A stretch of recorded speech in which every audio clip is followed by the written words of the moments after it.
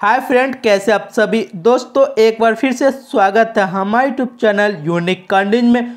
दोस्तों, आज के इस वीडियो में आज हम बात कर रहे हैं फोर्स गुड़खा एस गाड़ी के बारे में, जिसे कंपनी फेसलिप के बाद भारतीय बार में बहुत जल्द लॉन्च कर रही है।